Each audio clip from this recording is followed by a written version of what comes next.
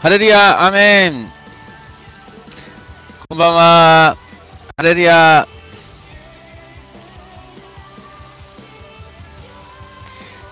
えー、こんばんは。ハレルヤ。はい、小太郎さん、和樹さん。はい、こんばんは。はい、かこいさん。こんばんは。はい、こんばんは。はい、大さん。こんばんは。ハレルヤ。こんばんは。ハレルヤ。えー、今日はちょっと雨で少し寒いですね。寒いですね。えー、昨日の報告しなきゃいけないかもしれませんね。なんかあの、昨日ですね、放送終わった後ですね、あの、おまりさんがこう来たみたいで、で、えー、自動聴取を受けましたね。二人とも自動、自動、えー、自動聴取を受けました。まあ、あのえー、実際ですね、まあ、おまりさんに叱られた、叱られて終わりっていう感じだったんじゃないかと思うんですが、実は皆さん、びっくりしなさい。びっくりしないでください。今来てるんです、彼が。ほら、またまたピンポンな、またピンポン鳴らしてますよね。まあ、おまりさんに怒られたんですけど、また来てますね。えー、またそのうち、えー、どうなってくるんだ、だ、じゃないかと思うんですが、まあね、ちょっとやっぱりストストーカー気味ですよね、なんかね。はい。あ、なんかコマーシャル流れてね。ちょっと待ってね、コマーシャル消します。コマーシャル消して。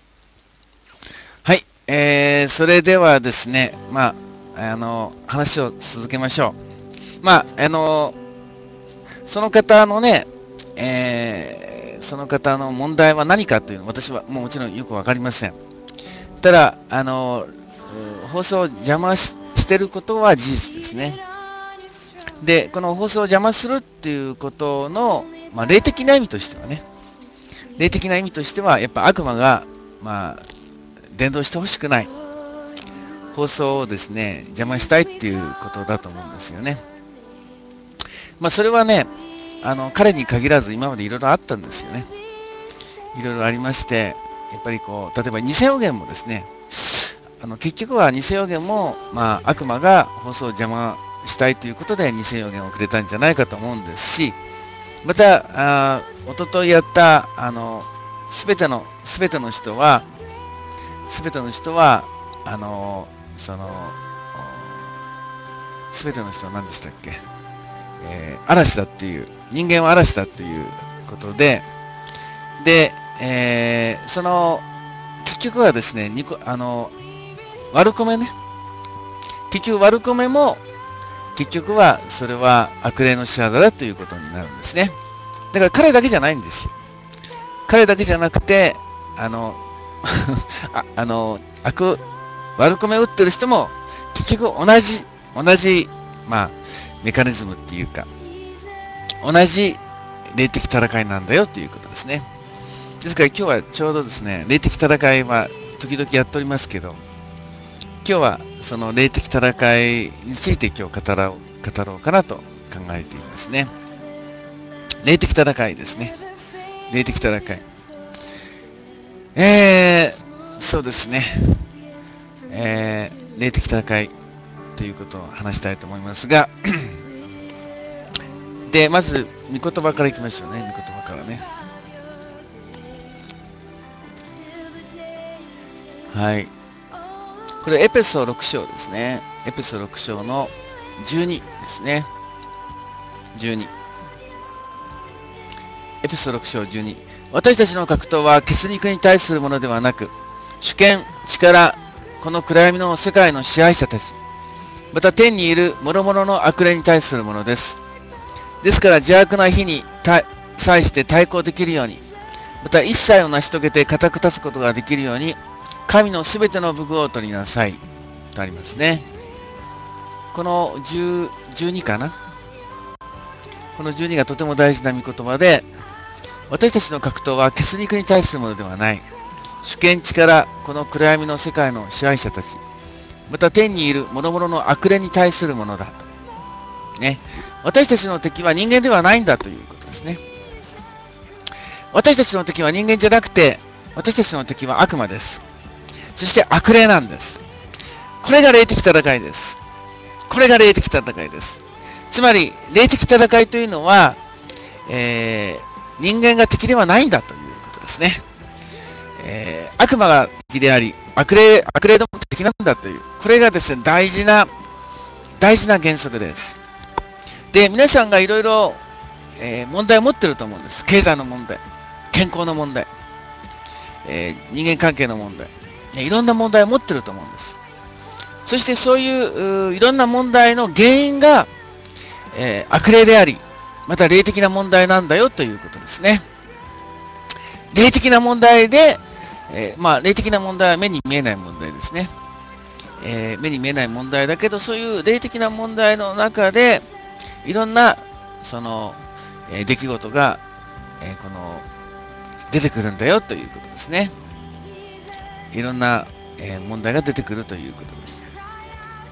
ですから、ぜひ皆さん、えこの、えあれですね、霊的な問題の中で、ぜひ皆さん、あの、自分の問題も霊的な問題の中で、いろいろあるんだということを知ってください。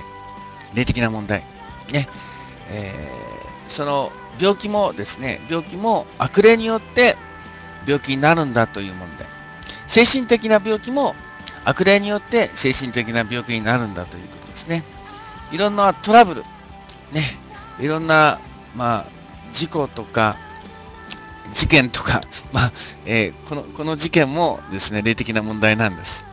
で、この、この今のね、まあ、彼が邪魔してるっていうのは、彼が意図的に邪魔してるというよりも、まあ、悪霊が伝道をやめさせたい。ね。えー、キリスト教の伝道をやめさせたいという、そういう霊的な戦いがあるんです。ですから、えー、その霊的な戦いが原因でこういうことがあるんだということを理解すると、恐れることはないんですね。恐れることはない。なぜ恐れることがないかというと、これはイエス様の戦いであり、そしてイエス様は十字架によってすでに勝利されている。十字架によって勝利されているので、大事なことは、えー、私たちは信仰によって勝利するということですね。えー、例えば、サタンは脅します。ね、ヤクザは人を落とします。ね。だから彼が、あの、この、怒鳴って大きな声を出すというのは、まさに、サタンの手口ですね。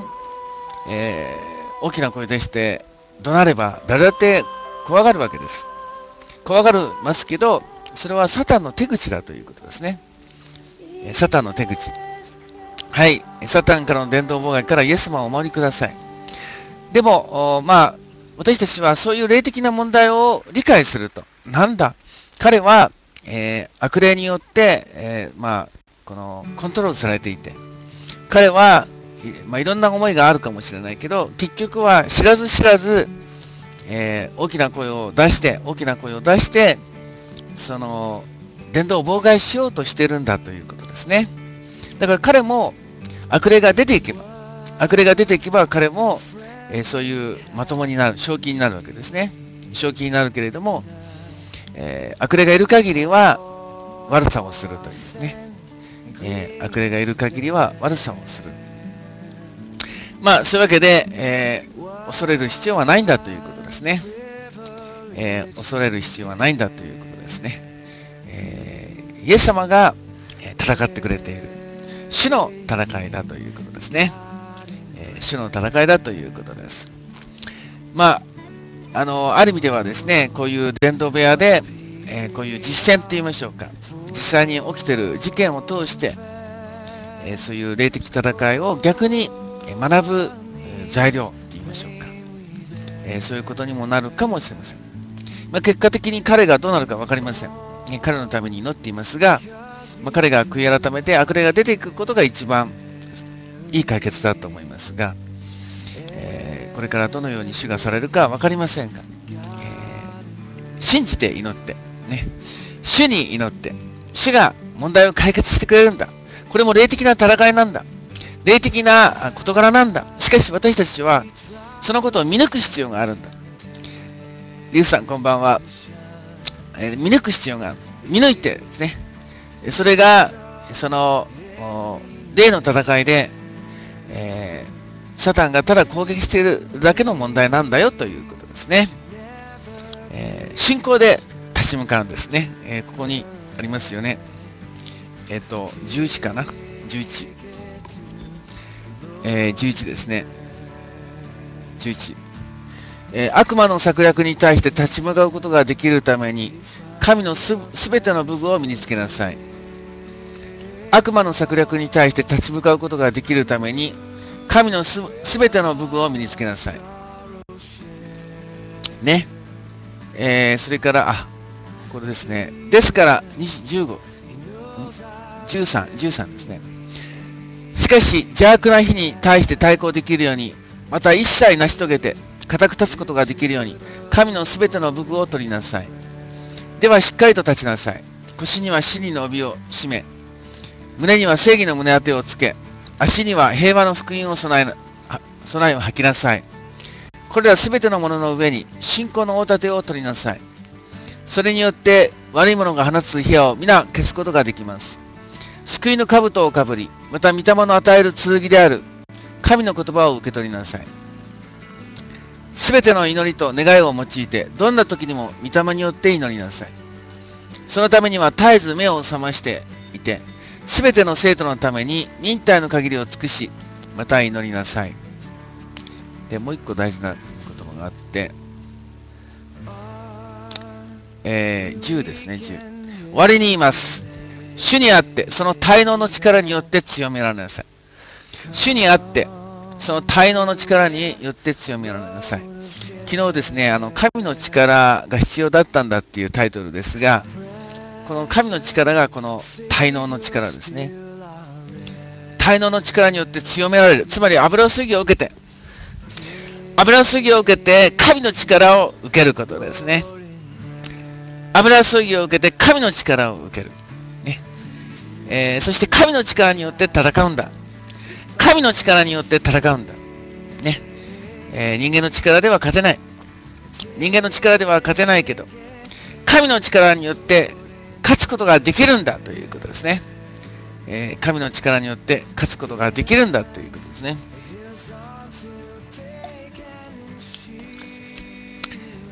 あ、あクルスさんこんばんは。クルスさんこんばんは。はい。イエス様こそ唯一の神。信仰こそ唯一の救い。アメン。はい、クルスさんこんばんは。ハレルヤ。多くの人はですね、こう、見た目のことだけで考えるわけですね。何か問題があります。ね。問題があります。それをこの目に見えることだけで解決しようとします。で、それは解決にならないんですね。す、えー、べ、ての問題を、えー、霊的に考えるんですね。まあ、信仰的に考えると言ったらいいのかな。霊的に考え、信仰的に考える。そして、信仰的に解決する。信仰的に解決する。これがですね、霊的戦いです。えー、昨日の話の延長なんですが、昨日の話の延長なんですが、結局は、えー、その、結局は、あの、何ですか、神様に委ねるという感覚でしょうかね。えー、自分の、自分の力で頑張んないで、自分の力で頑張んないで、神の力で頑張る。えー、神の力で頑張る。えー、それがですね、え、大事なことだということですね。アメン。アメン。それではですね、え、実際に、じゃあ、霊的な問題だということで、まあ、どういうことから話したらいいでしょうかね。うーん、そうですね。霊的な問題。何かこう具体的な風に言わないとわからないかな。じゃあ皆さん、ちょっとですね、あの、あまり多すぎると選べないので、皆さんの問題を打ってください。皆さんの問題ね。それをちょっと霊的にどういうふうにえー、かいあの解釈するか言いますので、はい。じゃあ、皆さん、ちょっと霊的な問題を打ってみてください。ね。霊的な問題。あ、じゃないや。皆さんの問題を打ってください。うつ病。うつ病は、あのうつの例ですね。うつの例でうつ病になります。それで、あの、ネガティブに縛られちゃうんですね。ネガあの、悪魔が与えた、悪霊が与えたネガティブなことで縛られちゃう。そしてそのことばっかりこう考えて、それが課題、こう、そのネガティブが大きくなって、そのネガティブな問題によって鬱になる。えー、これが鬱です。そしてそのネガティブなものを取るためには、御言葉が必要だということですね。御言葉によってそのネガティブなものがなくなり、鬱の例が出てきます。はい。他に問題は？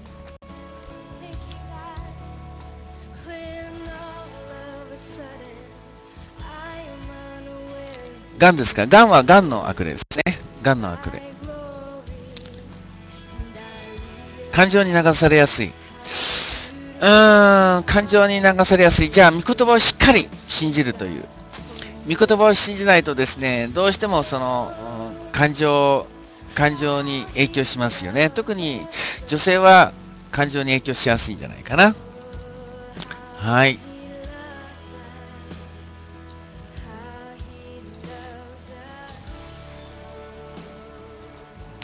あとはどうでしょう？就職が決まんない。就職が決まらない。ね。えー、就職決まらないとこの放送見られますので、喜んでください。ね。えー、就職決まっちゃうと放送見れなくなりますので、えー、就職決まらなかったら喜んでこの放送見てくださいね。えー、仕事よりも進行が大事ですね。え仕事よりも進行が大事です。はい。次は、ニコ生やめれない。ニコ生はやめなかったらこの放送を見ればいいということですね。はい。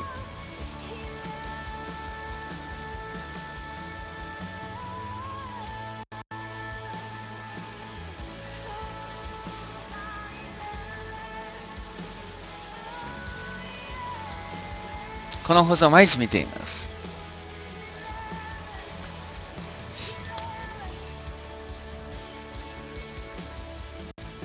相談したいことがある。相談は後でね、放送終わってからスカイプください。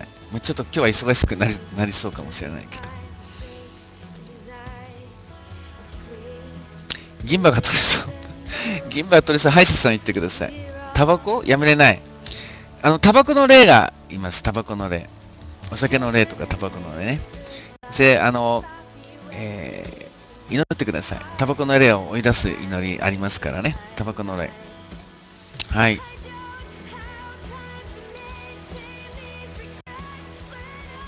タバコの例、お酒の例がありますね。他にはどんな問題がありますか？リバイバル、炎のリバイバル協会知らないな炎のリバイバル協会知りません。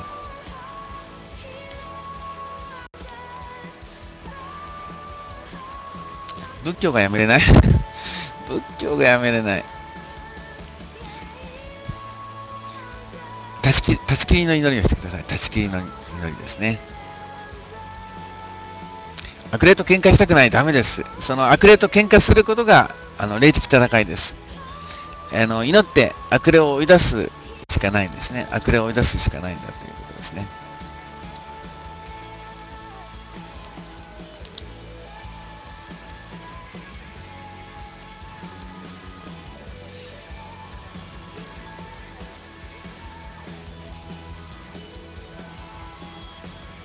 日記を毎日書けない。私もそうです。三日坊主ですね、日記はね。はい。他にどんな問題がありますか？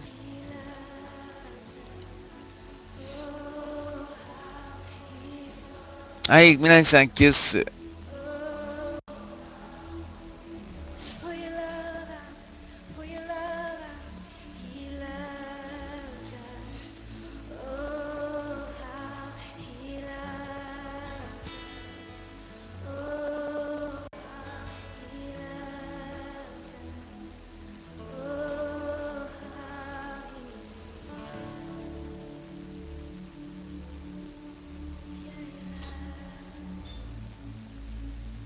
母さんと仲良くできない。あの、お母さんを許すことですね。あの、お母さんを許します。お母さんを許しますと言ってください。宣言してください。そうするとお母さんを許せるようになってうまくいきますね。えー、お母さんを許しますと言ってください。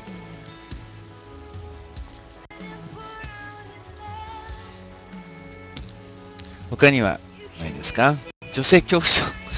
女性恐怖症ね。ちょっと、あの、わかりませんが、まあ、その、誰か憎んでる人、嫌いな人がいたら許しましょう。ね。何か女性で嫌いな人がいたら、その人を許すことですね。許しますと言えばいいですね。はい。ピンポン恐怖症、ピンポン恐怖症。えー、お金がない。お金がなかったらですね、神様お金ください。神様お金ください。と祈るんですね。えー、じゃちょっと祈りましょう。皆さん、お金がない人手を挙げてください。お金が欲しい人。お金が足りない人、お金欲しい人、手を挙げてください。ヒカルさん いや、たくさんいますね。まあ、今の時代ね、お金がない人の方が多いでしょうからね。はい。小田さんもお金がはい。じゃあ、じゃあ祈り、お祈りしましょう。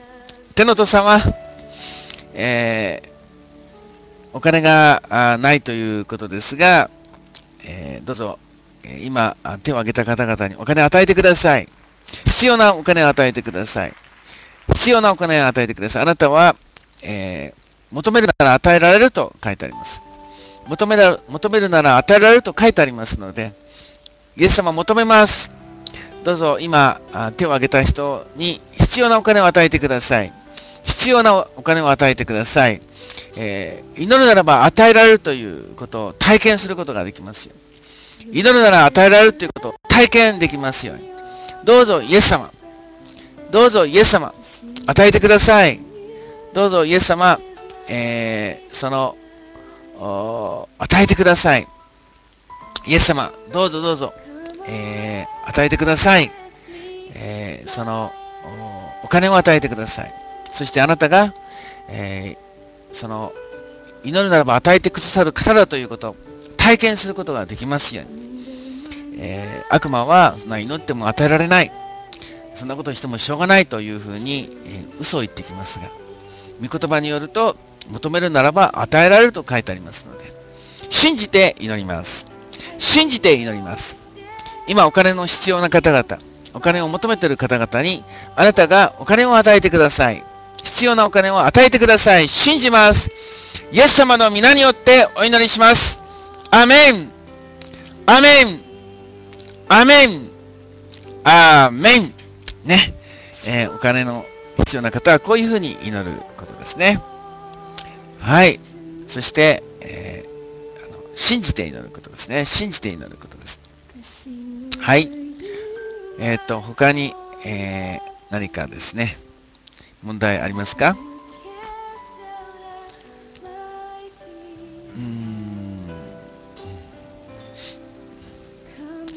えー、よく結婚したいとコメントして村木さんの結婚相手はどうすれば見つか？りますかそれも祈るんですね、えー、結婚したかったら結婚相手を良い結婚相手を与えてくださいと祈ればいいんですねはい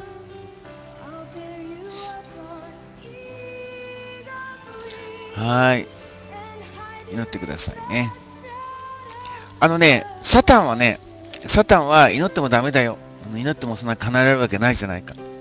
祈ったってダメだよというのがサタンの上等手段ですね。上等手段。だから大事なのは、御言葉を信じることですね。御言葉が、ね、えー、求めたら与えられると書いてあるならば、その、えー、御言葉を信じることですね。御言葉を信じること。御言葉を信じて、それで、あの、えー、祈り続けるということ。これが大事です。で、結局ね、祈るということは、祈るということは、霊的に勝利するということです。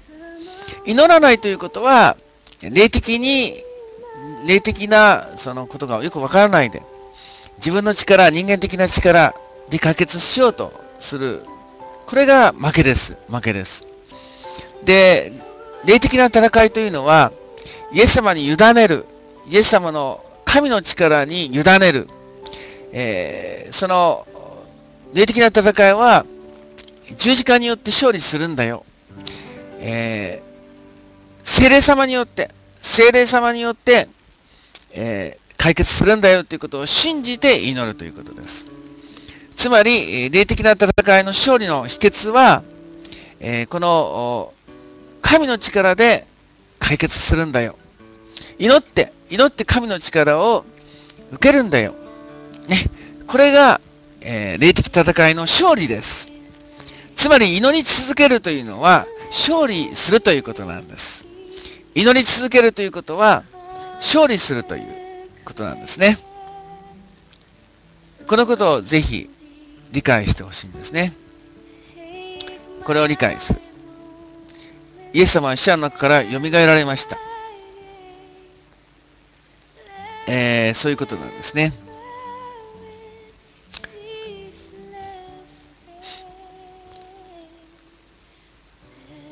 えー、はい。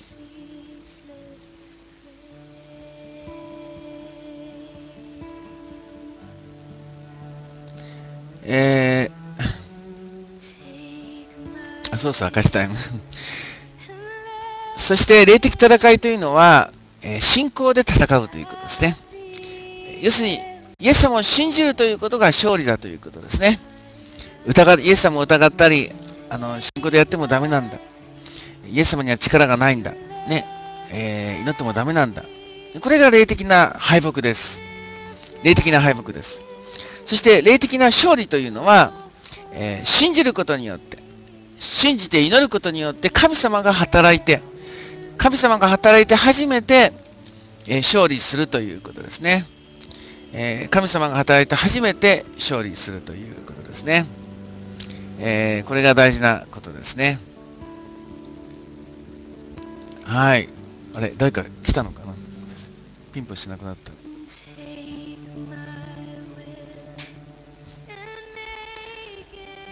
ちょっと誰かと話してるみたいで、ちょ、ちょっと見ていきますね。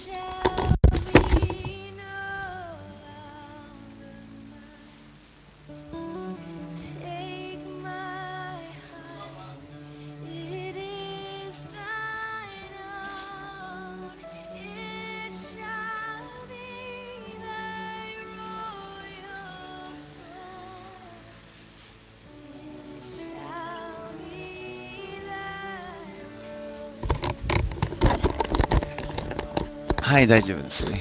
はい、刺されない。はい。えー、すいません。はい。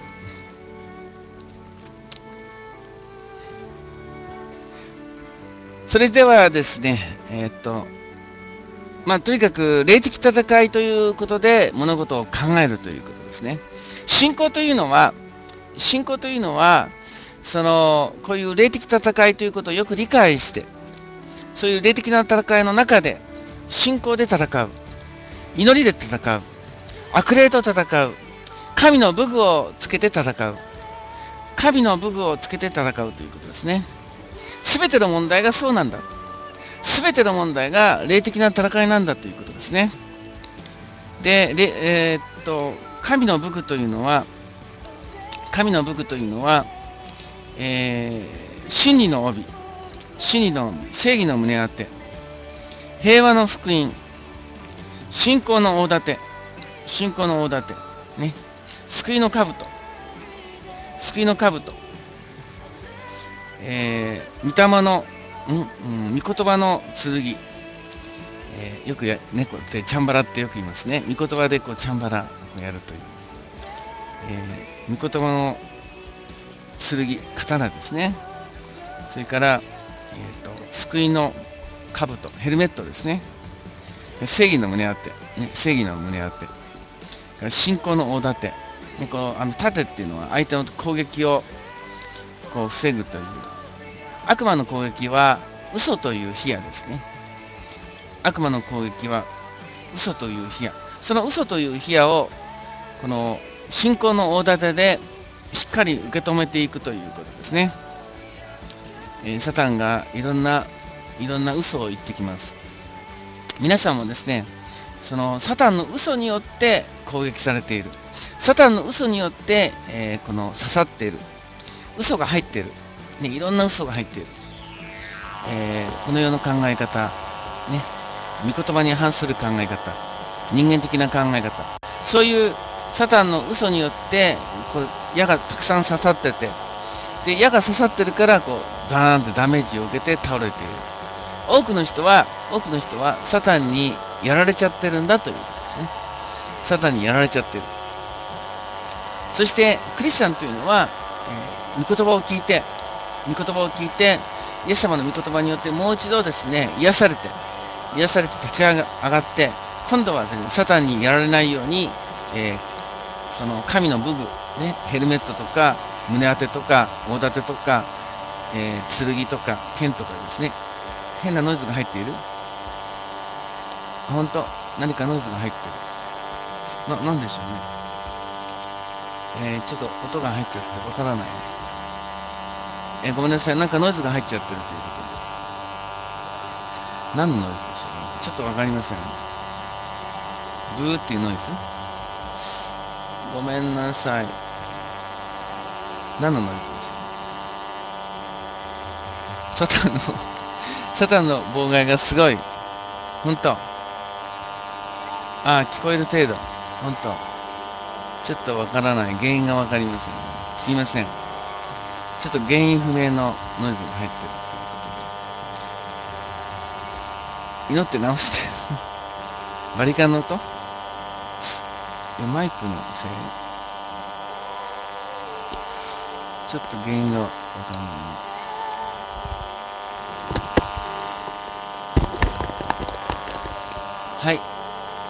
すいません。ちょっと原因がわかりません。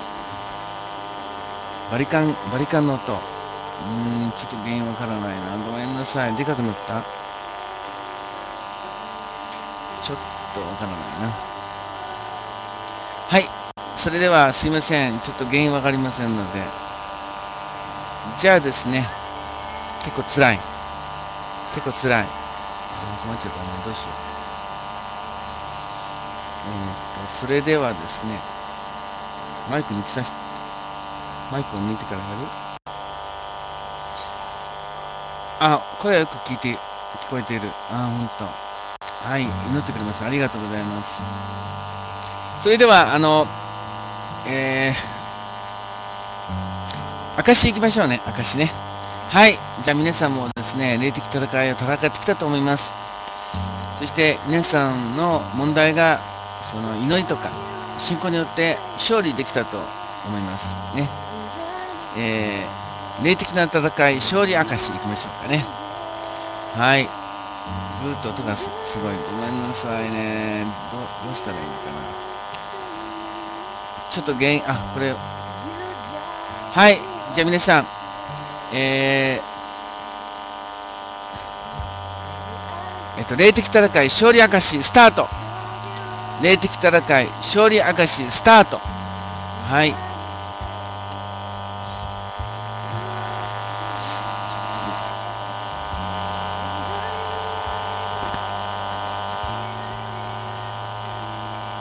すごい音。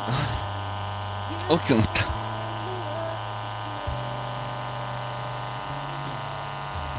ごめんなさいね。どうしよう。ノイズの音を消して祈りしてください。何が原因どうしよう。えー、っとね、じゃちょっと待って、マイクを変えてみましょうか。ちょっとね、他のマイク、マイク変えてみます。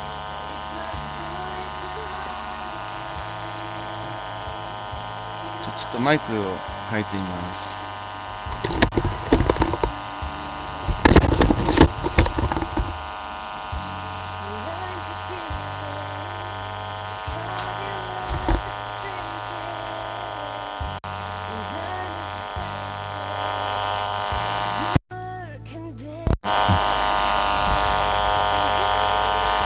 ちょっとマイクを変えてみましたけどね。はい。えーと、マイクを変えました。もっとひどかった。ひどかった。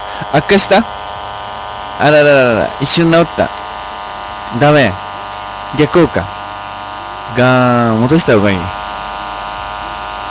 ひどくなった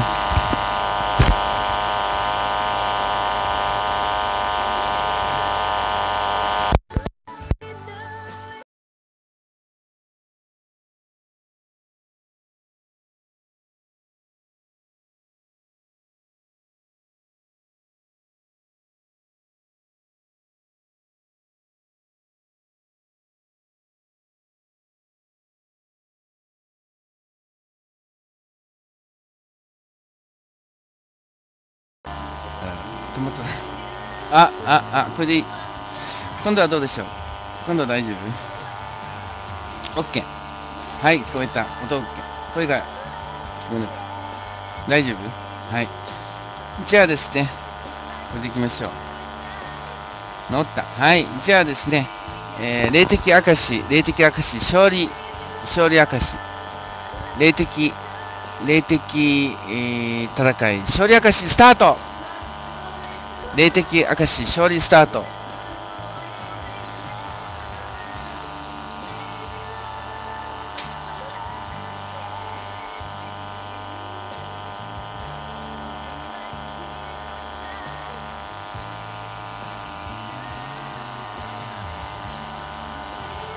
治ってない。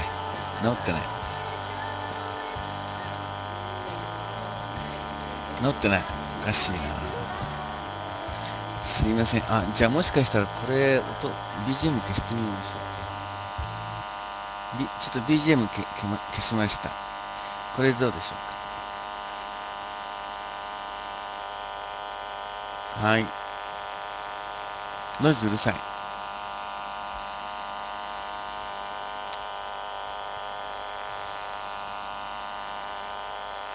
治ってない。昔から嫌いな人だ、人を許せました。昔から嫌いな人を許せました。変わりません。受けるさい。どうしましょうね。モーター音がする。困っちゃったね。マイクジャック抜くと祈る。イエス様を信じていろんな問題が良くなりました。イエス様を信じていろんな問題が良くなりました。人を許せるようになりました。人を許せるようになりました。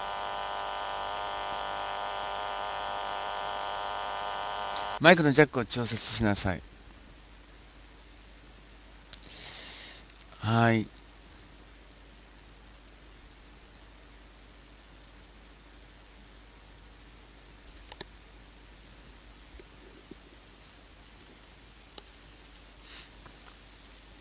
治った。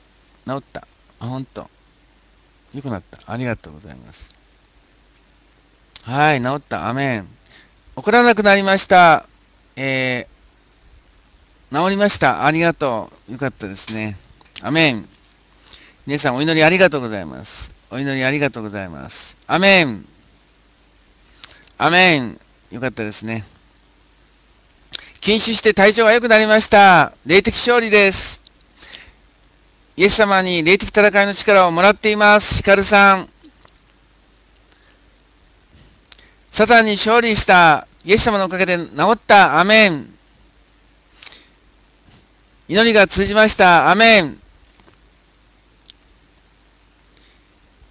BGM、あ、BGM やりましょうかね。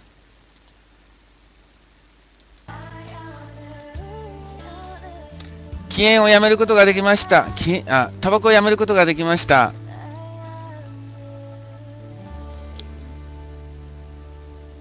イライラしなくなりました。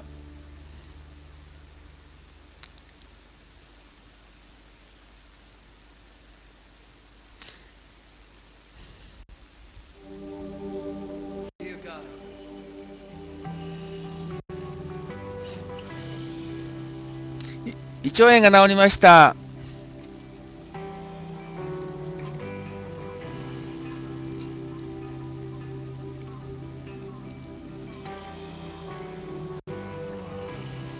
性格が変わった。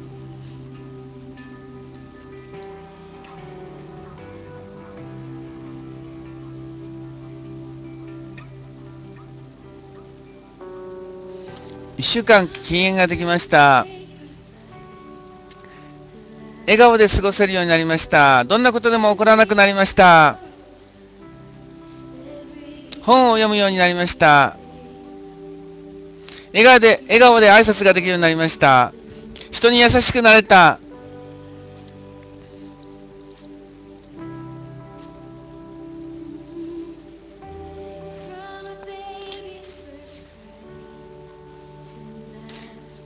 毎日この放送が支えです。酒を捨てた。アメン。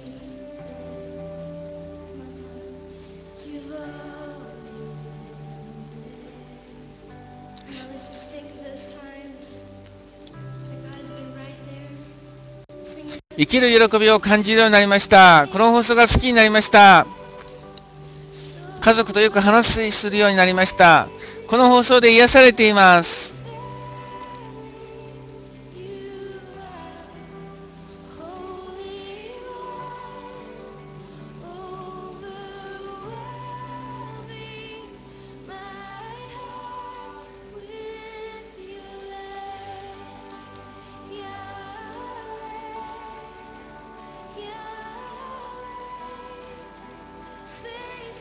金に対する執着がなくなりました。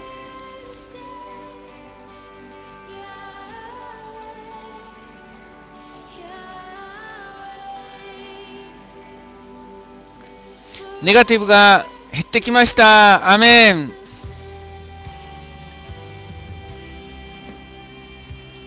社会に興味が湧いてきました。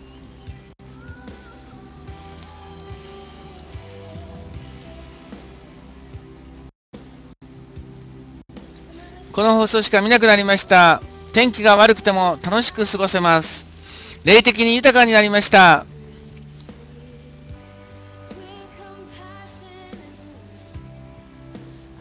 株株が暴落しても気にならない。富士山に登りました。楽しかったです。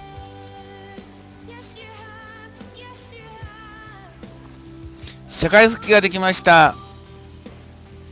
社会復帰したいと思うようになりました。ネット中毒が治りました。AV を見ない方がいいと分かりました。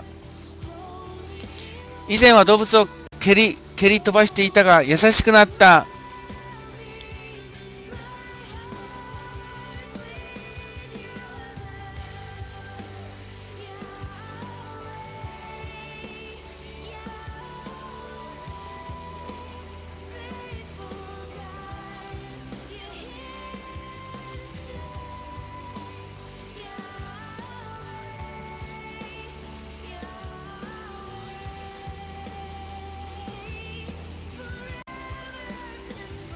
幸せになりました。幸せになりました。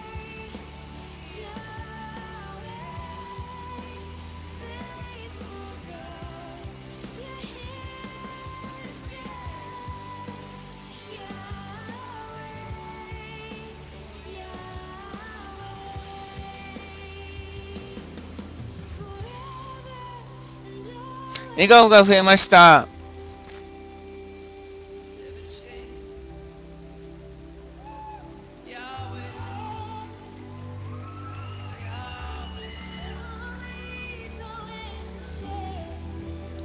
腰痛が軽くなってきました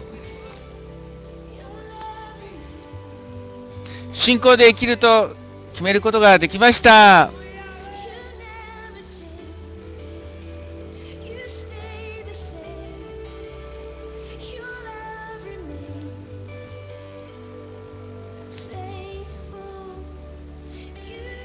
はい、ありがとうございました。まだ許せない人がいます。大丈夫です。許しますと言えばいいですね。この放送を見るようになって人を許せるようになりました。アメン。アメン。日々幸せを感じることができました。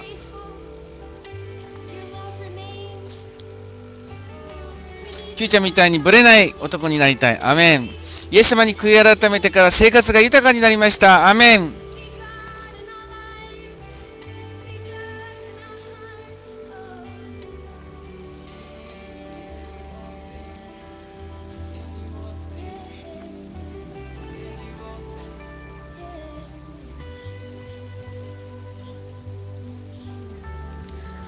はい、ありがとうございました。ありがとうございました。アメン。アメン。仕事ができるようになってきました。アメン。アメン。ハレリア、アメン。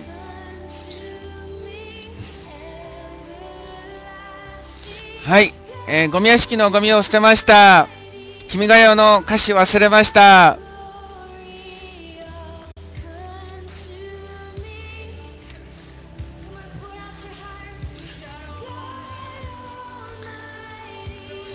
それではファイナルメッセージいきます。心の病が完全に癒されました。心の病が完全に癒されました。僕も Q ちゃんボックスのような生き方を歩みたいです。歩めます。歩めます。誰でもイエス・キリストによって歩めるのです。誰でもイエス・キリストによって歩めるのです。誰でも神の子になれるのです。誰でも神の子になれるのです。えー、万引きやめられました。求めなさい。そうすれば与えられます。えっ、ー、とですね、あの、霊的戦いというのは、まさにこのカリスマ派の、えー、非常に大事なことなんですね。大事なトピックというか。で、その霊的な戦いというのは、あの、まあ、ある意味では物事の本質を見てるわけです。この私たちがこの目に見えるね、この私たちが目に見えるこの物理的なことっていうのは、これはあの、えっ、ー、と、まあ、外面的なことですね。外面的なこと。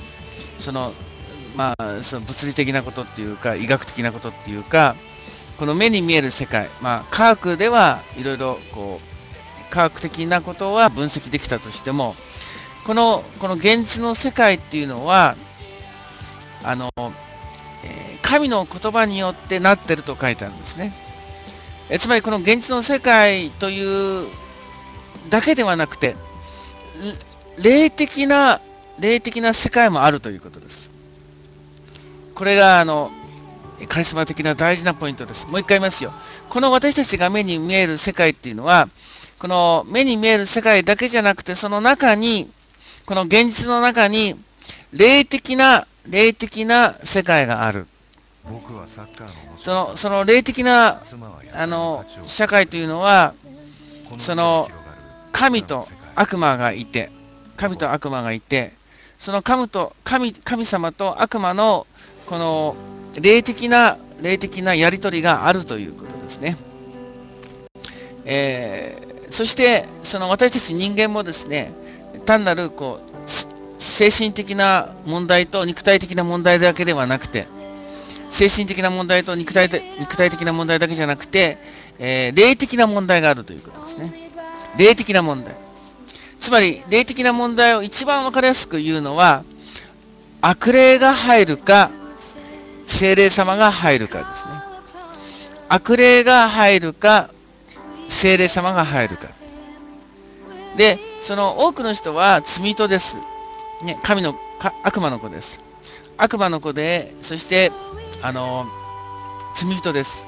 で、その罪人というのは、おおよそ悪霊がいるということですね。悪霊がいる。で、悪霊がいることによってネガティブになる。悪霊がいることによって病気になる。悪霊がいることによって、えー、あの汚れた思い、ね、それから、えー、罪深い思い、ね、え憎しみとか、憎しみとか、敵意とか、ね、えー、それから無慈悲とか、まあ、そういう汚れた心を持ってしまう。それが人間の霊的な問題だということです。霊的な問題。皆さん、もう、皆さん分かってきましたよね。霊的な問題分かってきましたよね。つまり霊的な問題っていうのは、多くの人の心の中に、その、悪魔の、まあ、悪霊と言っちゃった方がいいね。悪霊がいることによって、悪霊がいることによってネガティブになっている。悪霊がいることによって、えなんかこう、え肉、肉欲に縛られている。悪霊がいるからお金に執着する。悪霊がいるから憎んでしまう。悪霊がいるから、えー、自暴自棄になってしまう。悪霊がいるから自殺願望になってしまう。そういう、そういう霊的な問題なんだということです。人間の問題は、人間の問題は霊的な問題だよっていうこと。霊的な問題。霊的な問題があるから、いろんな問題がある。これを皆さん理解してほしいんです。理解してほしい。そうか。霊的な問題が、霊的な問題は問題なんだということ。霊的な問題が問題なんだということ。そしてその霊的な問題を解決する方法がイエス様であり、十字架であり、精霊様なんだということです。イエス・キリストによって、イエス・キリストによって初めてこの霊的な問題を清くする。霊的な問題で悪霊を追い出す。霊的な問題で、このイエス様が勝利してくれる。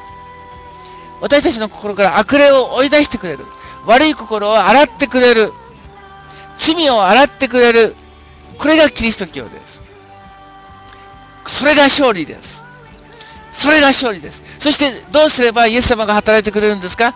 イエス様が働いてくれるのはイエス様を信じる。イエス様に祈る。そして御言葉を、御言葉をしっかり信じる。御言葉を信じる。神の力を信じる。イエス・キリストを信じる。その信仰に、信仰によって神の力が働く。信仰によって油水が来る。祈りによって神の力が働く。そこに私たちの問題が解決する。勝利する。そこに悪霊が出ていく。その悪霊が出ていくと、わあ解決する。悪霊が出ていくと、ね、急に良くなる。急に良くなる。急に、ね、あの、そこに平安がある。そこに、その、解放がある。そこに平安があるんです。アメンあ、時間来ちゃいましたね。じゃあですね、えー、皆さん、霊的戦い分かりましたか？皆さんの問題の、問題はですね、霊的な戦いから来てるんだよということですね。皆さんの問題は霊的な戦いが来てる。霊的に勝利すればいいんだということですね。じゃあ皆さん、イエス様を信じて、イエス様を信じて霊的に勝利したい。イエス様を信じて悪霊を追い出してほしい人、アメンと言ってください。霊的な戦いはよく分かった。そうか、自分の問題は霊的な戦いが、えー、原因だったんだ。霊的な戦いで悪魔にやられてたんだ。悪霊がいるからなんだ。ね。えー、その霊的な問題を解決しなければ自分の問題を解決したいんだ。そして自分の力ではできないんだ。そしてイエス様の力が必要なんだ。イエス様の血潮、血が必要なんだ。精霊様が必要なんだ。そういうことをよく理解したから、そうなりたい。勝利したい。自分の問題を解決したい人、アメンと言ってください。アメン。素晴らしい。素晴らしい。理解することが大事ですね。理解すること。そして体験します。理解してそれを願えば誰でも体験できるんですね。理解が大事。この霊的な戦い、ね、理解したでしょうか？この霊的な戦いを理解することが、えー、この鍵ですね、鍵です。霊的戦い。はい。アメン。アメン。ね。じゃあ皆さん、えー、皆さんの霊的な戦い、皆さんの問題が、えー、その霊の戦いだということで、霊的戦いに勝利する祈りをしますから、皆さん本当に心を込めて、えー、イエス様によって解決したい、勝利したいと思ってくださいね。勝利したい、解決したいと思ってください。はい、祈りましょう。天のお父様、以前はなんでこんなことがあるんだろう。なぜこんなひどいことがあるか理由は分かりませんでした。何がいけないんだろう。何が原因だろう分かりませんでした。しかし、えー、イエス様の教えを学んで、イエス様の教えを学んで、ああ、霊的な戦い。霊的な戦いがあるんだということが分かりました。そしてその霊的な戦いの中で苦しんできたんだ。多くの人はこのことを知らない。多くの人はなぜ人間が苦しむか理由がわからない。しかし、私たちは分かりました。えー、私たちは本当の原因が分かったのです。そして、その解決も分かりました。解決はイエス様です。解決はイエス様が私たちを本当に、えー、洗ってくれる、清めてくれる、罪を取り除いてくれる、悪霊を追い出してくれる。精霊様によって、精霊様によって、油注ぎによって、油注ぎによって、霊的な勝利があるということを知りました。知りました。イエス様、今、ここにいるリスナーの方々が、あなたの力によって清清めてください。あなたの血によって、十字架で流された血によって清めてください。清めてください。霊的に清めてください。悪霊を追い出してください。悪霊を追い出してください。様々な悪霊を追い出してください。奇跡を起こしてください。奇跡を起こしてください。癒しを起こしてください。癒しを起こしてください。イエス様。人間の力では解決できません。十字架の力です。神の力です。神の力です。イエス様。一人一人が、リスナー一人一人が勝利しますように。勝利しますように。勝利しますように。イエス様、どうぞ、どうぞ、解決を与えてください。解決を与えてください。あなたが、えー、一人一人を勝利し、また日本の勝利がありますように。世界の勝利がありますように。この全世界で、全世界で、あなたの勝利が、えー、起こされていきますように。あなたの勝利です。信仰による勝利です。信仰による勝利です。祈りの勝利です。祈りの勝利が、リスナー一人一人、また日本に、世界に、勝利から勝利、勝利から勝利、十字架の勝利がありますように、勝利がありますように、勝利がありますように、解放がありますように、奇跡が起きますように、癒しが起きますように、平安がありますように、イエス様、お願いします。あなたの、あなたの御心です。あなたの御心です。十字架の力です。十字架の力です。イエス様、どうぞ、どうぞ、奇跡を起こしてください。主を感謝します。イエス様の皆によってお祈りします。アーメンアーメンアーメンアーメンアーメンハレルヤアーメンはい、ありがとうございました。ね、えー、霊的戦い、霊的戦いです。私たちは、えー、神の兵士です。神の勇士です。信仰で戦います。祈りで戦います。御言葉で戦います。信仰で戦います。祈りで戦います。御言葉で戦います。兄弟姉妹と戦います。兄弟姉妹と戦います。皆さん、勝利しましょう。敗北者ではなく、敗北者ではなく、勝利者になりましょう。イエス・キリストにあって勝利者になりましょう。人生に勝利しましょう。人生に勝利しましょう。ね。えー、ぜひ皆さん、お互いに励まし合って、励まし合って、強め合って勝利しましょう。本当にありがとうございました。ありがとうございました。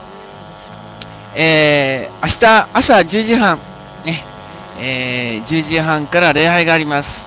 ね、えー、皆さん、ちょっと雑音の問題解決してないんですけど、まあ、ちょっとわかりません。今はない、ないということで。で、また、あの、彼のためにも祈ってあげてください。ね。えー、彼のためにも祈ってあげてください。はい。ありがとうございました。えー、そして、えー、勝利の人生を送りましょう。信仰による勝利です。イエス様がすでに勝利しました。もう勝利、勝負は決まっているんです。神が負けるわけはありません。神様が悪魔に負けるわけはありません。もうすでにイエス様は悪魔に勝利しました。問題はその勝利を信じることです。十字架の勝利を信じ、ね、そして、えー、信じ続けることです。ありがとうございました。シャローム。シャローム。アメン。シャローム。アメン。アメン。シャローム。シャローム。ありがとうございます。ありがとうございました。シャローム。シャローム、アメン。シャローム。ありがとうございました。